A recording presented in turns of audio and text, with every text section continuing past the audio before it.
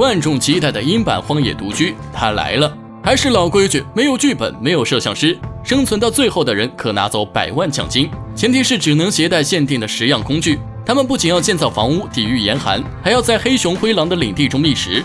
很快，十位俊男靓女就被送到了位于北极圈内的肯奇河两岸。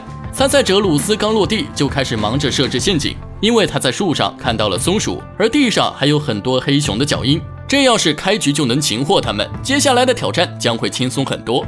这家伙可以说是个幸运的倒霉蛋。幸运的是，他有一个漂亮的女朋友；但倒霉的是，作为底层的打工人，他根本拿不出求婚的彩礼钱。所以，抱着必胜的信心来此，希望可以拿走百万奖金。可一直生活在大都市的人，又怎会知道荒野的残酷？很快，他就累得满头大汗。本想停下喝口水歇歇，抓起的却是浑浊的泥巴，臭的根本无法下嘴。It's not safe. 下面出场的这位可是个大美女，只是初到荒野，明显有些懵逼，缓和了好一阵才认清现实。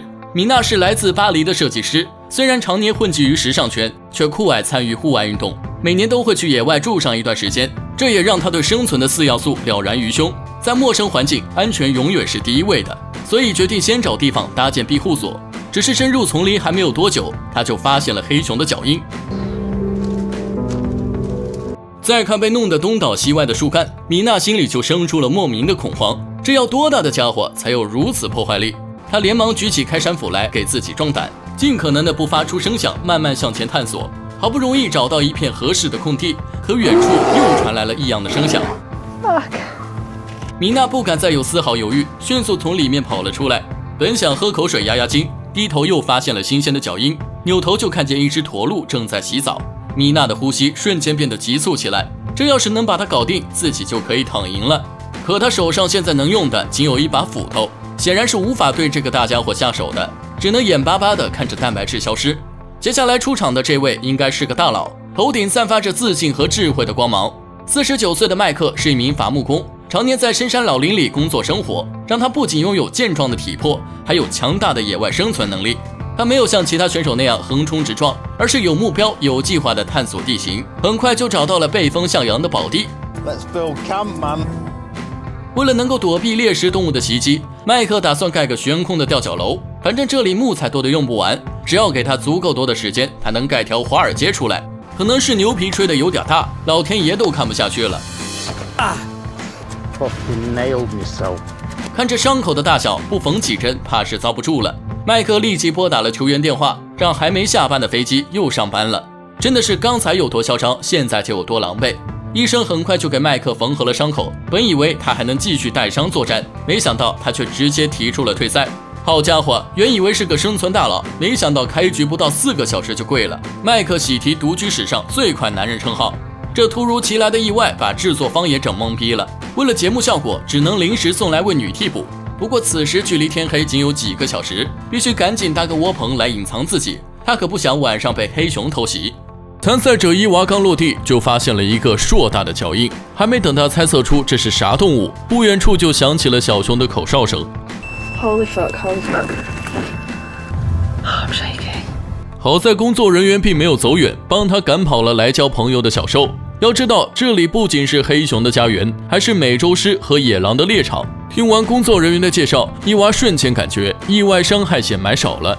接下来出场的这位小伙子是齐安，在大都市生活了十九年的他，还是第一次来到这荒山野岭，像个好奇宝宝似的瞎转了一天。眼见天色不早，才想起来搭建帐篷。为了方便，更是直接驻扎在了岸边。要知道晚上野兽们会来湖边喝水，这不是明摆着告诉他们外卖到了。当然，这也不能只怪他年少无知，毕竟他所掌握的生存知识都源于网上的求生大佬。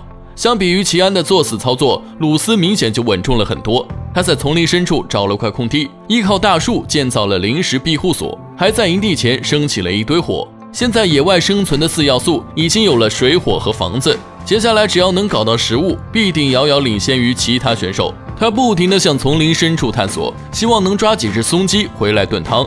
这个节目的老粉丝应该都知道，使用弓箭的选手会有 buff 加成，获得蛋白质的几率会大大增加。当然，前提是你能够寻找到猎物。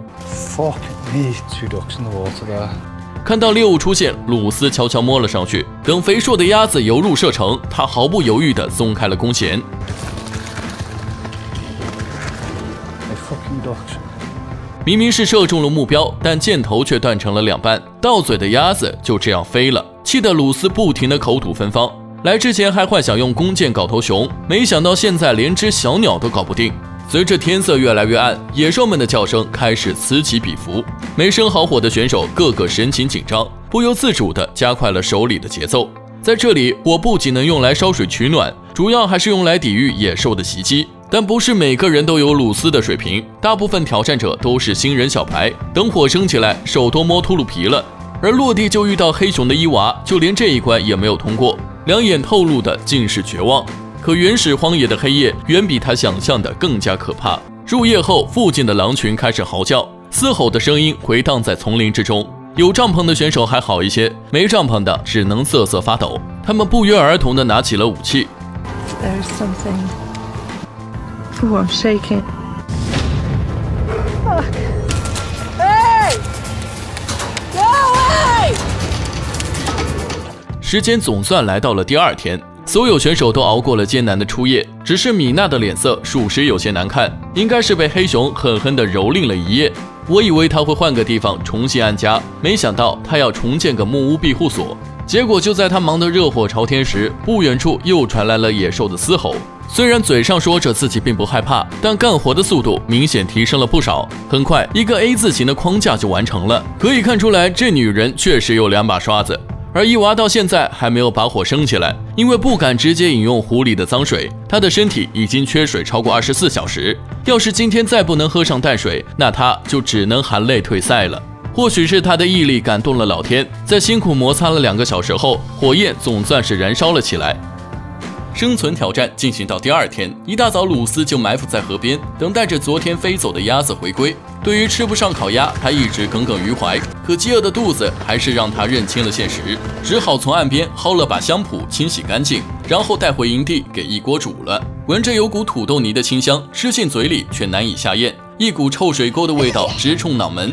看来只有蛋白质才符合他的身份。那鲁斯带上弓箭，再次走出家门。这次的目标锁定为林中松鼠，因为他在寻找柴火的时候，在林中发现过松鼠打的洞。在丛林中寻摸了没有多久，他就听到了小松鼠的叫声，抬头果然看到了正在晒太阳的小家伙。鲁斯拿着弓箭慢慢靠了上去，调整好呼吸后，射出了手中的箭。好家伙，一发入魂！只是坠落的松鼠却挂在了树上，在爬树和砍树之间，鲁斯选择了最简单的方式。随着大树倒地，松鼠也被摔飞出去。结果鲁斯在附近找了半天，最后也没有发现猎物的影子。到嘴的肉又一次飞了，气得他差点当场去世。而在丛林中度过了惊悚的一夜，众人都意识到了房子的重要性，今天都在忙着搭建永久庇护所。只是艾丽的进展似乎并不顺利，她搭建的框架总是随风飘摇，根本没有办法稳固下来，这直接给艾丽整郁闷了。明明都是按老师教的搭建，为什么呈现的效果却不一样？她摆弄来摆弄去，也没有找出有效的解决办法，最后反而整散架了。气得艾丽对着镜头疯狂吐槽：“老师教的那些玩意儿一点儿都用不上。”回家就把九万九的学费要回来。而此时，齐安正在寻找新的扎营点。昨天他被黑熊骚扰了整整一夜，临走前还好心的留下了早点，晶莹剔透的看着很有食欲。可齐安却没有胆子去吃，而是迅速逃离了这个是非之地，来到了一片比较空旷的区域。当即决定在这里安营扎寨。抡起斧头开始砍树盖房，不过仅放倒了一棵树，他就累得瘫在了地上。刚想躺平休息会儿，远处又传来了黑熊的嘶吼声。齐安的表情瞬间凝重起来，身体不由自主地开始打颤，心里非常害怕，又不好意思说退出，只能对着镜头咬着牙说还能熬几天。米娜这边终于结束了一天的工作，来到湖边，打算洗个冷水澡解解乏。这让男人肾上腺素飙升的画面，不出意外是导演故意安排的，以此来提高节目的收视率。当然，该看的、不该看的，我都帮大家看了，确实很哇塞。而洗完澡的米娜也变得更水灵了。但随着太阳公公的打卡下班，选手们的神经又开始紧绷，听着远处此起彼伏的狼叫声，只能蜷缩在庇护所里瑟瑟发抖。而半夜出现的不速之客，更是吓得他们惨叫连连。这种情况下，谁也不敢睡去，就怕自己看不到明天的太阳。好不容易又熬到了天亮，看着被黑熊折断的树枝，齐安的内心充满了后怕。本想去湖边打点水压压惊，结果又成功被一根树枝撂倒了，这也成为了压死他的最后一根稻草。齐安表示，野外生存真的太难了，与想象中的完全不一样。虽然自己梦想成为一名探险家，但父亲的亿万资产还需要有人继承，于是很果断地拨通了卫星电话。生存挑战进行到第三天，鲁斯已经饿得吃起了蚂蚁。一口一个，鸡肉味儿，嘎嘣脆，蛋白质更是牛肉的几十倍。只是蚂蚁的肉实在太少，没有几万只，怕是吃不饱。他只能外出寻找其他猎物。虽然没有遇到黑熊和驼鹿，却捡到了昨天丢失的松鼠，样子像被其他动物啃食过。但鲁斯对此并不是很在意，认为只要煮熟就没有问题。毕竟在野外搞点肉吃太难了。他迫不及待地开始大快朵颐。这一刻，满足的不仅仅是味蕾，还温暖了他那即将动摇的心。就在鲁斯疯狂咀嚼蛋白质时，其他选手还在浆果地里忙活。米娜把采集来的浆果去皮后，才小心翼翼地塞进自己嘴里。真的是精致女人，干啥都精致。这也显得韦德粗暴了很多，不管大的小的，通通摘下来，就连树叶都不放过，一股脑的打包带走。但是再多的浆果又能坚持多久呢？在这里，只有蛋白质才是王道。显然，伊娃是明白这个道理的。他拿出了珍藏的渔网，准备捕鱼。只是这网怎么看都是一次性的，真搞不懂这些人是如何选取的装备。而米娜更加神奇，她竟然没有选择渔网，要自己编织。我本以为她是节目组找来的花瓶，没想到还是位隐藏的生存大佬。她的渔网主打的就是精致耐用，而米娜这么小心也是有原因的。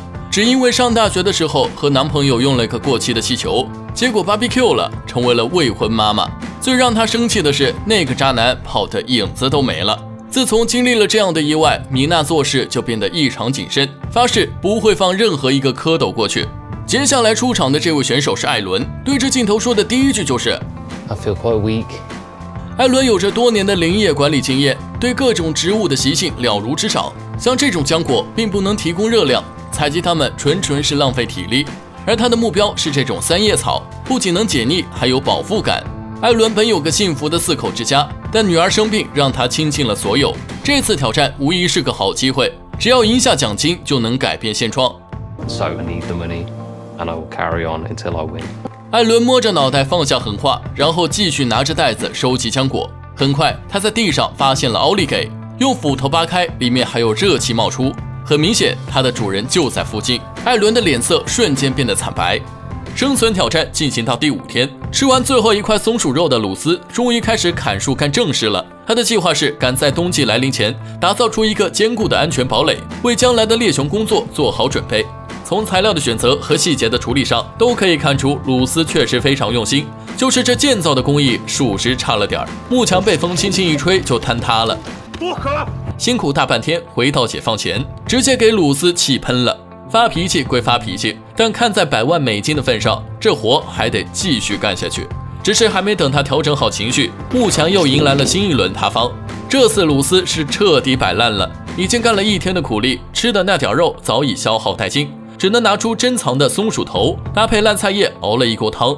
他很清楚，吃完这顿饭，下顿还不知道什么时候能吃上。所以吃的特别仔细，鼠头都被他啃成了标本。而米娜虽然编织好了渔网，但几天下来却没捕到过鱼。身体无比渴望蛋白质的她，终于鼓足勇气进入了丛林。然而，并没有深入多久，就有一股恶臭扑面而来。走近后，赫然发现竟是一具动物的尸骸，这意味着附近可能存在猎食者。米娜不敢怠慢，迅速冲出了丛林。到了晚上，听着远处传来的嚎叫声，米娜的内心更是无比恐慌。这是所有选手都面临的困扰，因为你无法预知在什么时候就会有猎食者来到你的床前，和你来一场浪漫的丛林邂逅。而劳拉就吓得一夜没敢闭眼，毕竟她这帐篷没有任何防御力。她是一名皮划艇爱好者，拥有非常不错的身体素质，有过和队友划艇横穿大西洋的壮举。只是这生存能力实在是没眼看，连搭个 A 字形框架都整不明白。好在物理知识没有全还给老师，最后想起了三角形最有稳定性。这才完成了这么难搞的大工程。这时候必须要狠狠地哭一会儿，让观众们知道生存的不容易。这也是我一直没让他出镜的原因。每次出现必然是哭得稀里哗啦，导致我写文案都没有心情。时间很快来到了第六天，艾伦的渔网现在还是个半成品，两天编织下来，身体都累散架了，特别想让女友帮自己按摩按摩。Never ever there when you needed that woman. 这话说出了多少男人的心声，太扎心了，老铁。而汤姆自从吃上了鱼肉，这自信心就开始膨胀了。这几天就一直在河边钓鱼。然而不知道是鱼儿变狡猾了，还是自己的钓技出了问题，反正每次把鱼儿拉到河边就会脱钩。汤姆在石头上琢磨了一天也没想明白。同样想不明白的还有伊娃，为什么自己的渔网网不到鱼？直到回去的路上捡到一块巨型头骨，他才想明白了，自己的鱼就是被这家伙偷走了。如果我没猜错的话，这条鱼生前一定是冤死的。随着时间的推移，挑战来到了第八天，艾丽应该是有亲属到访，晾晒的裤衩子说明了一切。这个时候多喝点热水准没错，毕竟他也找不到其他的食物。而劳拉这边依旧没有任何变化，就连前几天开始搭建的庇护所，现在还是个光秃秃的三脚架。房子盖不好，食物找不到，每天就是躲在帐篷里哭诉。真不知道他来这里的意义是啥。或许是听见了我对他的吐槽，劳拉主动拿出了卫星电话。I've just had enough. Um, yes, I'm officially tapping out. 生存挑战进行到了第九天，目前场上还剩余八人。最近汤姆钓鱼总是空军，怀疑是自己的假饵有问题，所以专门抓了只蜻蜓来测试。万万没想到，效果出奇的好，水里的鱼饵都争着来咬钩，可刚要提起来却又脱钩了，差点给汤姆气嗝屁了。好在新换的鱼饵有用，他只能再接再厉，继续抛竿。就在太阳升起的那一刻，鱼竿上一股拉扯之力传来。吸取了上次的教训，汤姆没有直接提竿，而是直接拖着鱼线向岸边跑去。就在鱼儿脱钩的瞬间，他抄起棒槌就冲了出去，几锤下去，鱼儿彻底失去了活力。看着一周的伙食到手，汤姆终于露出了满意的微笑。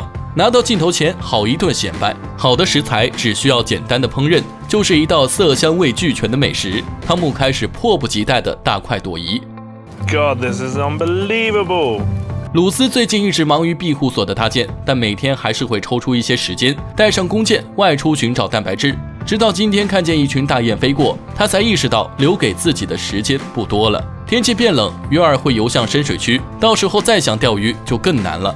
赶紧拿出了珍藏已久的松鼠内脏，开启了自己的钓鱼大业。相比于其他选手的棒槌鱼竿，鲁斯这根明显就高级多了。再搭配上臭气熏天的鱼饵，应该会有不错的收获。话还没有说完，就看到有鱼儿咬钩了。他手忙脚乱地向回拉扯鱼线，眼看就要上岸，结果却脱钩了。这给鲁斯气的，一直不停地口吐芬芳。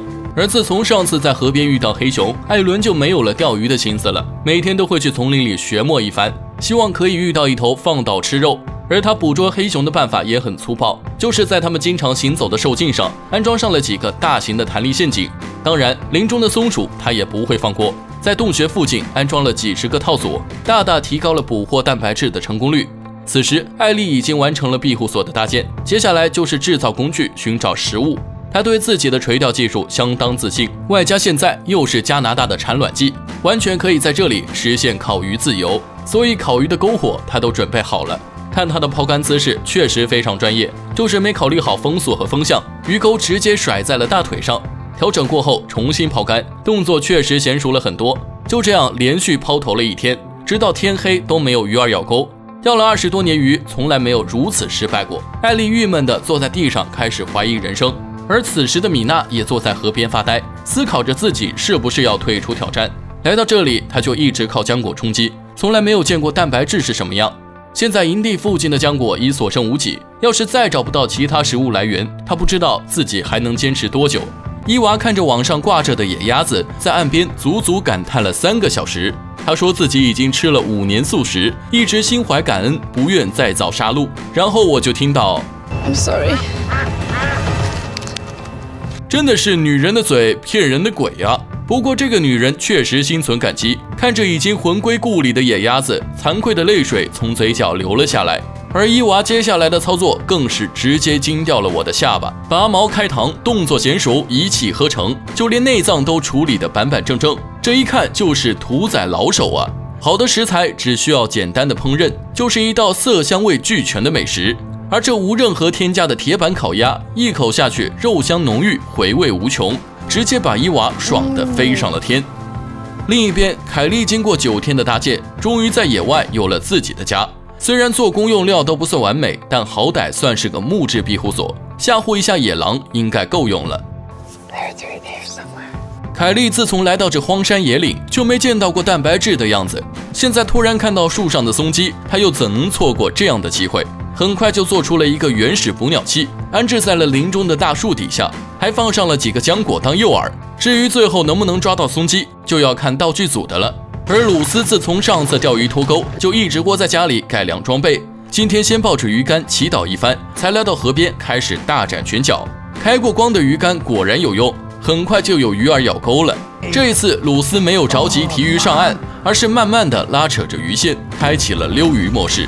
就在鱼儿放松警惕的瞬间，他迅速扬竿刺鱼，拖上了岸。看着一周的伙食到手，鲁斯抑制不住的仰天长啸。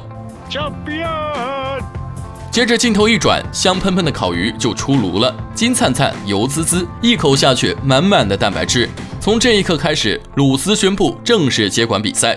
与他相比，米娜过得就悲惨多了。他的刺网今天还是毛也没有，只能扯了点野草籽来充饥。为了增加口感，他还特意放火上烤了烤这刺嗓子的草籽串，硬生生的让他吃出了烧烤的即视感。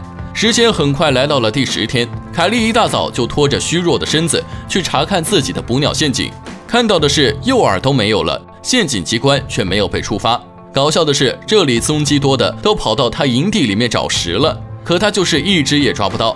另一边的艾伦也好不到哪里去，设置的捕猎陷阱也是毛也没有。再等下去，自己真的会被饿死。于是打算去河边碰碰运气。好家伙，鱼毛没有抓到，还搞一身腥，换做是谁，多少都有点接受不了。而此时河对岸却传来了好消息，艾丽经过一天的抛投，终于在天黑前上鱼了。在一顿手忙脚乱的极限拉扯后，鱼儿终于被拖上了岸。个头虽然是小了点儿，但艾丽笑的却是非常开心。生存挑战进行到了第十一天，艾伦天还没亮就来到了河边。他认为早上鱼口会好一些，可以搞点蛋白质来吃吃。结果话还没有说完，就有鱼儿咬钩了。艾伦兴奋的语无伦次，在一阵手忙脚乱的拉扯后，大鱼终于被拖上了岸。眼见鱼儿还在拼死挣扎，艾伦直接一刀子送走了它。我熬十多天，终于可以吃肉了。赶紧回到营地，开始生火做饭。很快，肉香就弥漫了整个荒野，这让艾伦再也无法等待下去，抱起没熟的鱼头就啃了起来。而米娜至今还没见过蛋白质，因为她的打野能力几乎为零，唯一的希望就是河里的丝网。所以每天除了去检查渔网外，剩下的时间就是搞木屋设计，搭建出了本季最豪华的庇护所。屋顶有鲜花装饰，屋内有实木大床，屋外更有围栏庭院，还能围炉煮茶。但仅凭这些，他还无法生存下去，必须找到持续的食物来源才行。所以今天坐在岸边祈祷了许久，才小心翼翼地来到河边起网。Oh my goodness! I got a fish. 很快，一条大鱼就被米娜拖上岸，怕它没死透，还顺手来了几石头。米娜已经饿了十多天，现在连画面都懒得拍了，镜头一转就准备大快朵颐了。肥美的鱼肉入口即化，好吃的根本停不下来。吃到最后，米娜都兴奋地哭了。而河对岸的伊娃却饿得直翻白眼。自从上次美美的吃了顿烤鸭后，她的渔网再也没有任何收获。正当她犹豫要不要退赛时，突然想起了节目组的提醒：肯奇河里除了有鱼，还有贝类。于是他走进河里，打算试试运气。没想到的是，很快就有了收获。不过捞起来才发现是个空壳。但这也给了伊娃莫大的信心，只要坚持下去，一定会有收获。可等太阳落山，屁股被河水浸透，愣是一个能吃的贝壳也没有摸到。时间很快来到了第十二天，几天不见的韦德再次现身。最近他一直在丛林里转悠，希望可以找到黑熊的老巢，但事与愿违，仅找到了几处小的洞穴。眼见猎熊无望，也只能对小动物下手了。就在他设置圈套陷阱时，远处突然蹦跶来一只松鸡。送上门的蛋白质自然不能放过，韦德拿起棍子就冲了上去，可下一秒，好家伙，松鸡没打到，还差点戳瞎了眼，真是倒霉他妈给倒霉开门，倒霉到家了。另一边的艾丽也好不到哪里去，截止目前，她只吃过一条小鱼，身体的疲惫已达到了极限，而且她引以为傲的钓技在这里似乎也失灵了。要是再这样继续下去，她最终的结果就是退出挑战。但他心有不甘，傍晚再次来到河边检查渔网。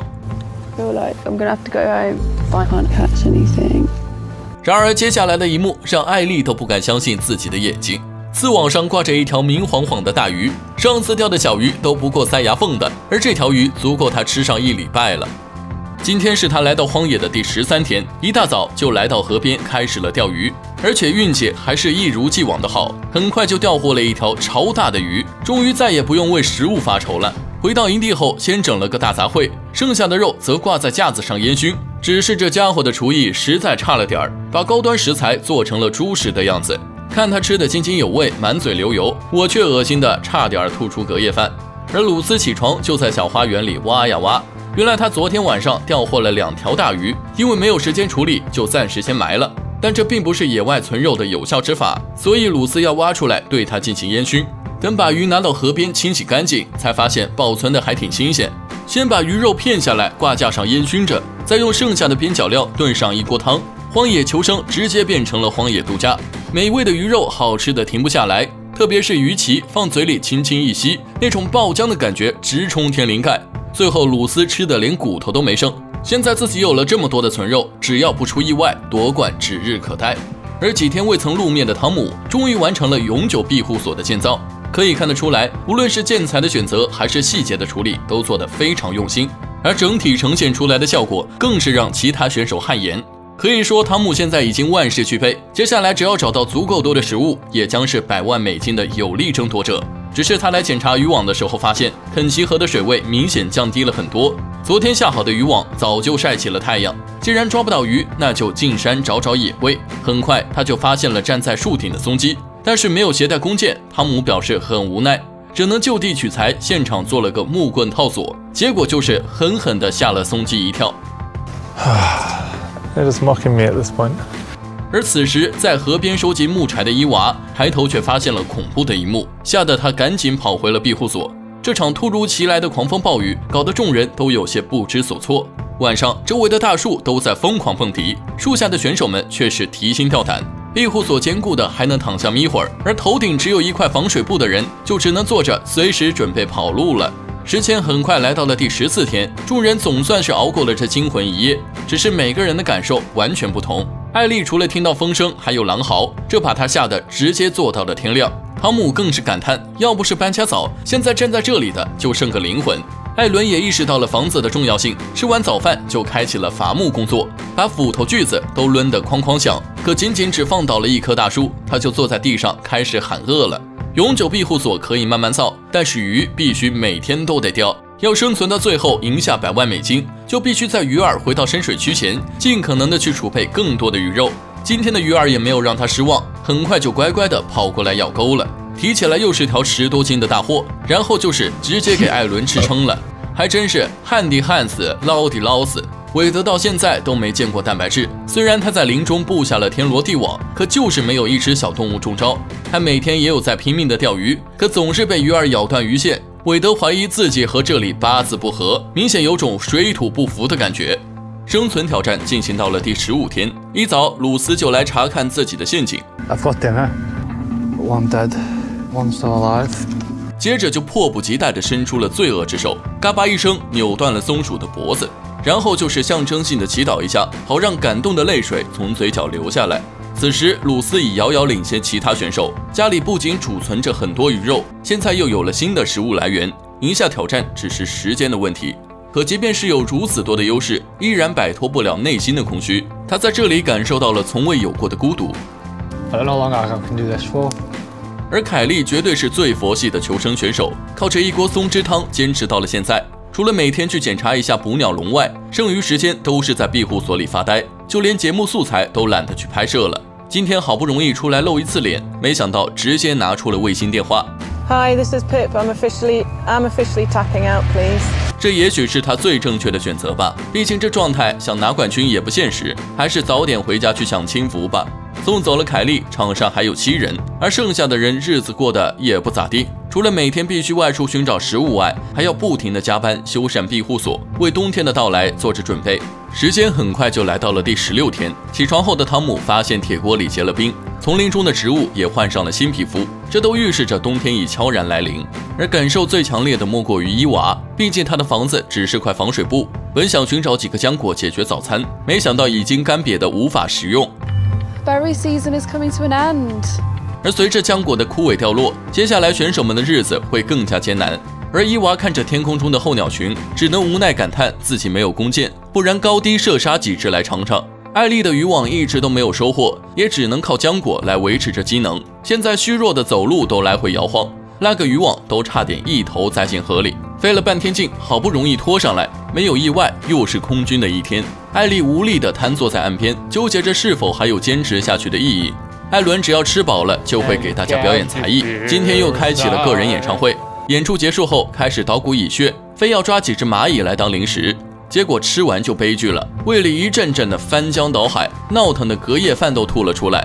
而韦德一大早就对着树上的松鼠大喊大叫，像是祈求它跳下来让自己咬两口。他是本季唯一没有吃过肉的选手，现在看到小动物，两眼都冒绿光。可惜今天的渔网还是空空如也，只能继续采集浆果，苦苦支撑。然而麻绳专挑细处断，厄运只找苦命人。吃完浆果后，身体竟然过敏了，后背长出了成片的红疙瘩。再看看自己不断缩水的胸肌和瘦了不知道几圈的腿，退赛的想法开始了萌芽。而鲁斯这货虽然每天都有肉吃，但空虚寂寞却一直缠绕着他，脑子里全是女友婀娜的身姿。结果一个走神就拿下了一血。生存挑战进行到了第十七天，这段时间鲁斯虽有外出打野，但却一直都没有任何收获，只能挖出了以前的存粮，准备好好的大吃一顿。目前剩余的七个人里，就鲁斯过得最为舒服，不仅有着豪华木屋庇护所，手里还有着吃不完的大鱼大肉，只要不胡思乱想，主动退赛，拿走百万绝对没有问题。吃饱喝足，鲁斯开始继续整活，把门口杂乱的树枝全部砍掉。经过修整，门前视野逐渐打开，庇护所直接升级成了湖景房。鲁斯还特意打造了一个名牌，上面雕刻了他和家人的名字。本想把女友的照片也粘上去，结果拿起来就不舍得放手了。看着两人的合照，眼眶逐渐湿润。现在他只想快点回到女友身边，但拿出卫星电话后，他又纠结了：一百万和回家陪女友，究竟选哪个？内心空虚的鲁斯最终选择了后者。It's Louis, and I'm officially tapping out. 果真是色字头上一把刀啊！一个最有希望夺冠的种子选手，就因为空虚寂寞而选择了退出。最后，他把没有吃完的食物和收获的几张毛皮都打包带走了。这不仅是他这些天的战果，也是能带给女友的唯一礼物了。而艾伦和鲁斯的生活态度截然不同，每天想的就是如何获取更多的食物。只要闲下来，他就会跑去河边钓鱼，眼瞅着湖里的水位在不停下降，他又打起了里面一倍的主意。只是现在的气温已达零下，给艾伦冻得嗷嗷直叫。可让他更郁闷的是，在水里摸索了大半天，最后就摸到了几个空一倍。然而倒霉还没有结束，现在艾伦被一倍划破了脚，是不是预示着他也即将陨落？而米娜除了找不到食物外，其他一切都正常。还是一如既往的饿着肚子搞基建，做好了庇护所的保温工作，还要在室内整个壁炉出来，这样就算脱光躺屋里都不会冷了。这让我不免有些担心，会不会一把火给庇护所点了？而作为饿了大半个月的选手，汤姆表现出来的状态还不错，除了缺少食物，其他都稳如老狗。今天终于让他找到了高端食材，不过想要抓住它们，还需要整几个捕鼠器才行。用两根木棍做支撑，上面再压块大石头。一个四字落石陷阱就做好了，只要老鼠过来轻轻一碰，瞬间就会被压成薯片。接下来就是祈祷外卖上门了。而随着天气越来越冷，鱼儿都游向了深水区。艾丽这几天也没有钓到鱼，唯一的希望就是河里的刺网。好消息是渔网还在，坏消息是河里把鱼给偷走了，还顺道把鱼竿给它咬成了渣。面对这如此的惨状，一向坚强的艾丽也忍不住流泪了。时间犹如白驹过隙的流逝，大家饿着肚子迎来了第二十天。艾丽已经饿得粘在了床上，靠意念吃着披萨汉堡坚持。汤姆营地里的老鼠派对一直在继续，之前做的陷阱一丁点用也没有。所有人都在忍饥挨饿，苦苦支撑，希望可以熬走其他选手。终于在第二十三天时，韦德终于最先扛不住，拨打了退赛电话。他绝对是本季最惨的一位。开局到今，连个蛋白质毛都没见过，就一直靠吃浆果坚持到现在。生存挑战进行到了第二十五天，汤姆突然听到捕鼠器被触发，打开一看，里面竟然有只薯片。这意外惊喜让汤姆喜笑颜开，毕竟多了一个新的食物来源，完全可以借此进入决赛圈了。不过老鼠可能携带沙门氏菌，还是烤的外焦里嫩比较安全。一口咬下去，鸡肉味嘎嘣脆，蛋白质是牛肉的好几十倍。而此时的艾伦却在忘机兴叹，如此美味的食物却无法猎杀，特别后悔当初没有带来弓箭，要不这些鸡毛怎敢如此嚣张？最后艾伦实在是忍受不了了，决定造个捕鸟笼搞几只尝尝。小伙伴们赶紧点个赞，给艾伦加加劲吧！捕鸟笼最终的成品就这样子，就这潦草的手艺能够抓到鸡，那我就直接把它生吃了。米娜照例每天都来检查渔网，不出意外，今天又是毛都没有。距离上次吃鱼已经过了七天，肚子里再也没有任何的油水，再搞不到吃的，就只能是退赛了。没有办法，只能尝试抛竿钓鱼。站在冷风中吹了半天，终于是有鱼儿咬钩了。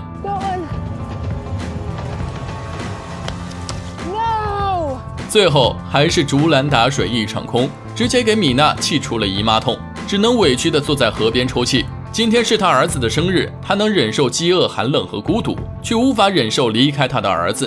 看着照片，思念更如潮水般涌动，他恨不得立刻飞到儿子身边。允许选手们携带家人的照片，本就是节目组设置好的陷阱，因为每期看照片退赛的太多了。而米娜为了能够每天看到儿子，还特意动手制作了一个相框，挂在了庇护所的显眼位置。时间来到了第二十六天，汤姆又开始了一天的垂钓工作，结果鱼还没有提上来就跑了，这让他在甩钩的同时，嘴里还骂骂咧咧个不停。这河里的鱼虽然很多，却也非常考验钓鱼技术。就这样，汤姆持续抛竿了一个多小时，终于看到了久违的曙光。只是小伙子还是太年轻了，鱼儿还没拉出水面就又脱钩了。看着到嘴的蛋白质再次溜走，汤姆气得差点原地去世。艾伦的运气也没好到哪里去，给予厚望的捕鸟笼虽被触发，可惜里面连根鸡毛也没有，瞬间有种退赛的冲动，直冲天灵盖。他也已经好几天没碰蛋白质了，只能拿出了以前的储备粮。现在所有的人都在挨饿，就他还能吃饱了想老婆。可一想到家里的美娇娘，突然觉得奖金也没有那么重要了，自己还在苦苦坚持的意义何在？而伊娃是所有选手中最惨的，除了开头捡到过一只鸭子，后面再也没有吃到过蛋白质。现在满脑子都是秘制烤鸡腿，一时没忍住，口水就从眼角飘了出来。为了能够满足自己的味蕾，他果断地掏出了卫星电话。I'm tapping out today, please. 要我说，这妹子绝对是借着生存的名义来减肥的。现在既然达到了想要的身材，就没有必要继续留下来挨饿了。等伊娃彻底的离开场地，所有选手都收到了节目组的短信，内容是恭喜他们进入了四强。今天是挑战的第二十七天，米娜一如既往的来检查渔网。其实连续的空军，她内心早已没有了期待。Look at that! 米娜简直不敢相信自己的眼睛，这幸福来的也太突然了吧！现在有了这条五斤重的大鱼，自己拿下冠军指日可待。Fish dance. 嘚瑟完后，麻利的把鱼收拾干净，放两块进锅里煎至两面金黄。还没等香气弥漫四野，他就迫不及待的开始大快朵颐了。